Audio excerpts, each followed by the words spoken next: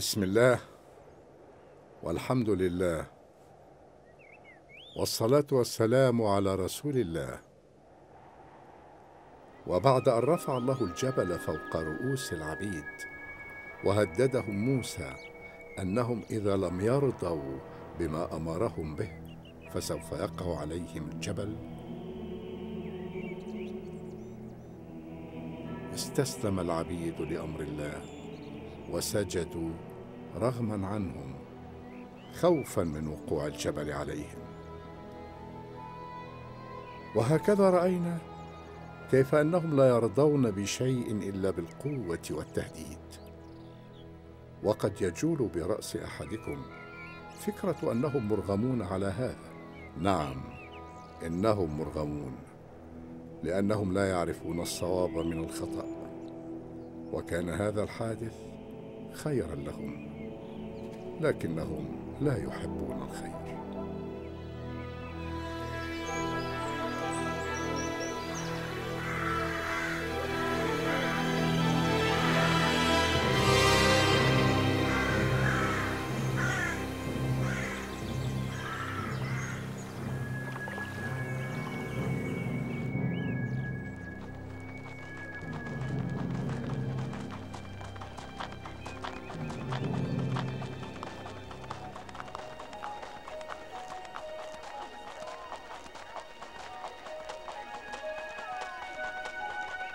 ماذا حدث؟ إلى أين أنتم ذاهبون؟ هيا معنا إن موسى عند الشاطئ ويريدنا في أمر ألا يمل موسى أبدا؟ ماذا يريد هذه المرة؟ ها لا تسأل كثيرا وهيا معنا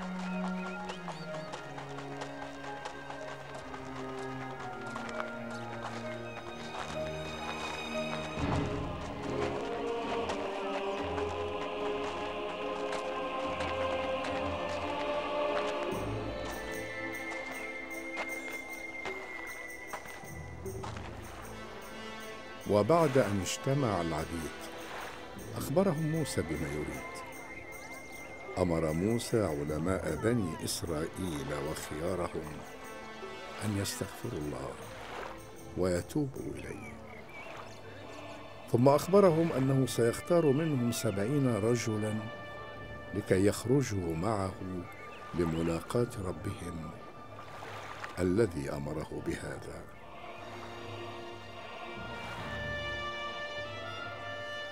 ولماذا يا موسى ستأخذ سبعين رجلا معك؟ لقد ذهبت المرة السابقة بمفردك فما الفائدة من ذهابهم معك؟ ويخبرهم موسى أن هؤلاء السبعين رجلا سوف يدعون الله أن يتوب عليهم جميعا مما فعلوه سابقا وهل يجوز أن نستغفر الله على ذنوب لم نفعلها يا موسى؟ هل يجوز أن نحمل أوزارنا وأوزار العبيد؟ فليستغفر الله كل منا بلسانه ما لنا نحن وذنوب باقي العبيد يا لكم من مجادلين ويجيب موسى أن العلماء ورثه الأنبياء وهم الذين يحملون العلم بعدهم وهم المسؤولون الأوائل عما حدث في واقعة العجل ولأنهم عبدوا العجل مع العبيد يقع عليهم الذنب الأكبر. لقد فتنا جميعا يا موسى. ولقد عفى عنا ربك وأنت رأيت هذا. ولكن موسى لم يعبأ بحديثهم كثيرا وبدأ في اختيار السبعين رجلا وسط صمت العبيد جميعا. وكان كل من يسمع اسمه يقف وهو يتنهد في ضيق ويجز على أسنانه بغيظ. يا لحظي المشؤوم. أف لك يا موسى. لماذا أنا بالذات دونا عن كل العبيد؟ واختار موسى السبعين رجلا وخطب فيهم قائلا لقد اختارهم الله للذهاب معه وهذه نعمة كبيرة وفضل من الله. ولكنهم لم يحبوا لقاء الله ومن لم يحب لقاء الله فإن الله لا يحب لقاءه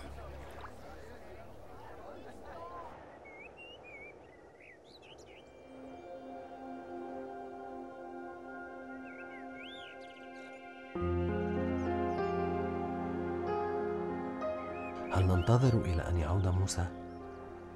نتزوج قبل أن يذهب هو والرجال؟ كما تريد ولكنني تحدثت مع أختي ووجدنا أنه من الأفضل أن ننتظر إلى أن يعود موسى. كما تريدان. فلنؤجل الزواج قليلا ونتزوج بعد أن يعود موسى. كما تريدان.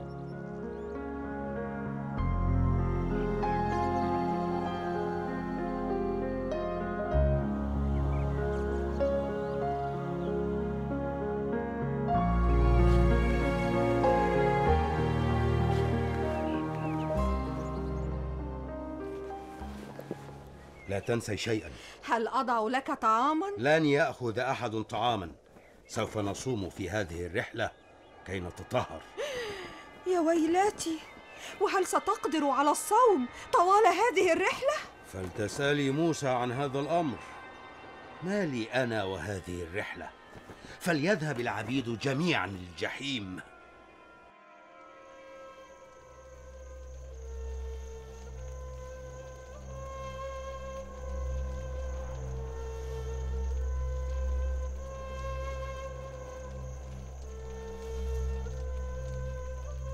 يا ليتني كنت مع السبعين رجلا الذين اختارهم موسى ليذهبوا معه لميقات ربه. يا ليتني كنت معهم أنا كذلك. يا لهم من محظوظين. سيذهبون مع موسى لملاقاه الله. ما أحلاها ملاقاه لقد كنت أنصت إلى موسى جيدا. حينما كان يختار رجال وكلما اختار رجلا أقول لنفسي أنا الذي بعده وراودني الأمل حتى التاسع والستين ولكنه اختار السبعين وذهب الأمل مني. الحمد لله على كل شيء. إن مشيئة الله كلها خير.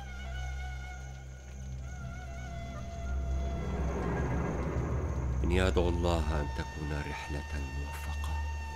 ويعود الجميع بسلام. إن شاء الله سيعود الكل بسلام.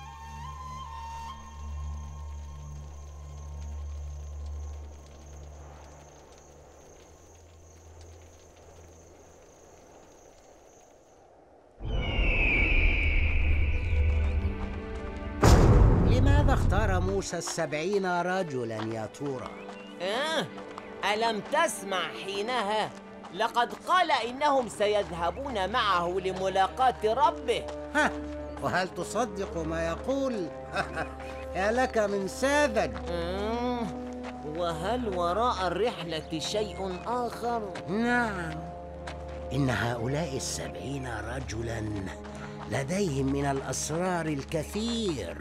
ويريد موسى أن يخرج بهم من وسطنا ويلقي بهم في الصحراء ويدفن معهم الأسرار.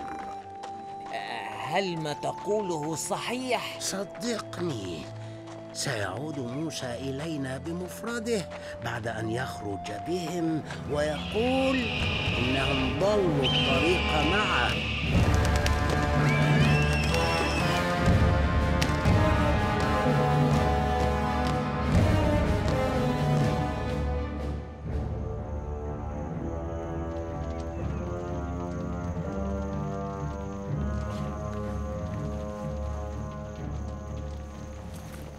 هل سمعت بما يدور وسط العبيد الآن بخصوص السبعين رجلا؟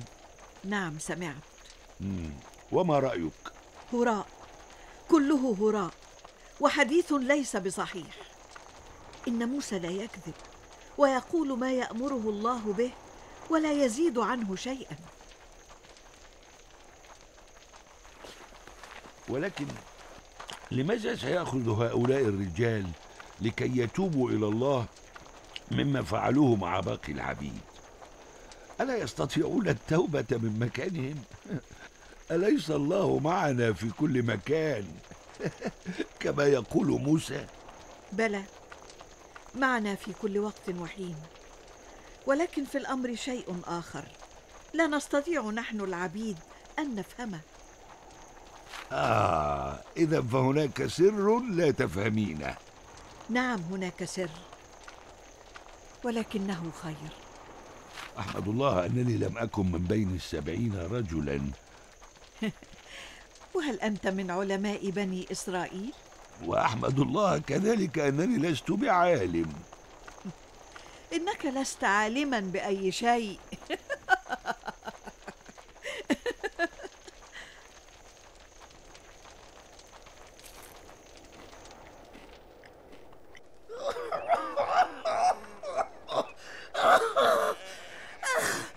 السلام عليك يا هارون. ويرد هارون وعليك السلام.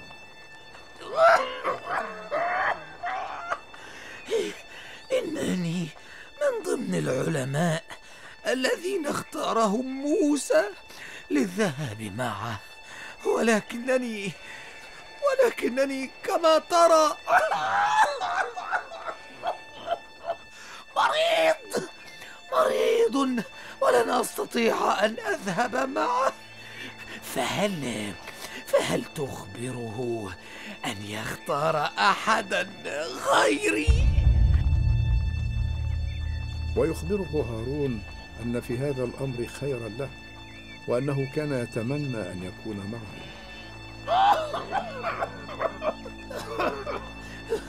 إذا فلتذهب بدلا مني ولتخبر موسى بأنني رجل مريض ولكن هارون يخبره أنه لا يجوز أن يذهب أحد بدلا من أحد وأن هذا أمر الله وليس لأمر الله من واق هل نحن عبيد عندكم؟ ألم نتحرر من العبودية؟ لقد أرغمنا موسى على السجود لربه بعد أن نطق فوقنا الجبل. وها هو يأمرنا الآن أن نذهب معه رغما عنا لن نسامحكما يا هارون أنت وموسى على ما تفعلانه بنا. لن نسامحكما.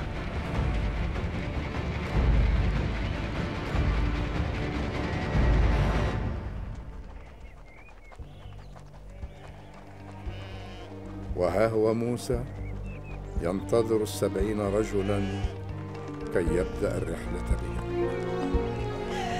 انتبه لحالك يا زوجي ولتسترح في الطريق. وإن تعبت لا تهمل الصيام وأفطر لا تقف في الشمس ولتبحث عن الظل.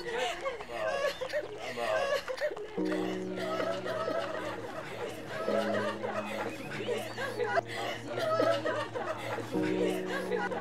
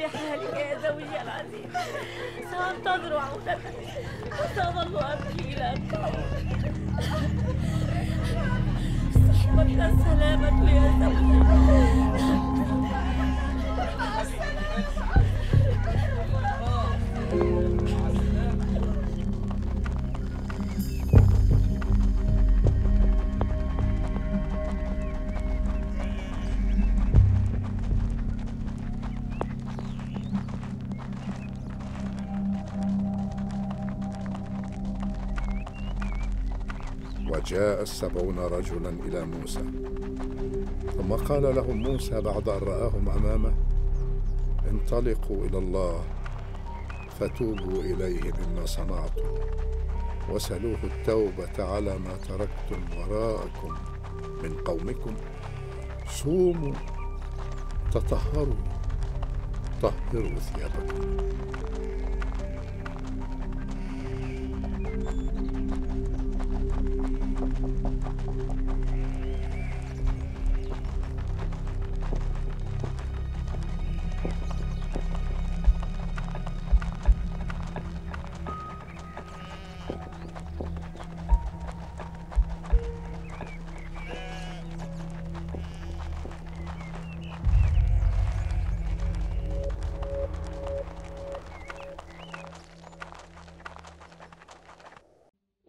واختار موسى قومه سبعين رجلا لميقاتنا فلما أخذتهم الرجفة قال رب لو شئت أهلكتهم من قبل وإياي قال رب لو شئت أهلكتهم من قبل وإياي أتهلكنا بما فعل السفهاء منا إن هي إلا فتنتك تضل بها من تشاء وتهدي من تشاء. أنت ولينا فاغفر لنا وارحمنا وأنت خير الغافرين.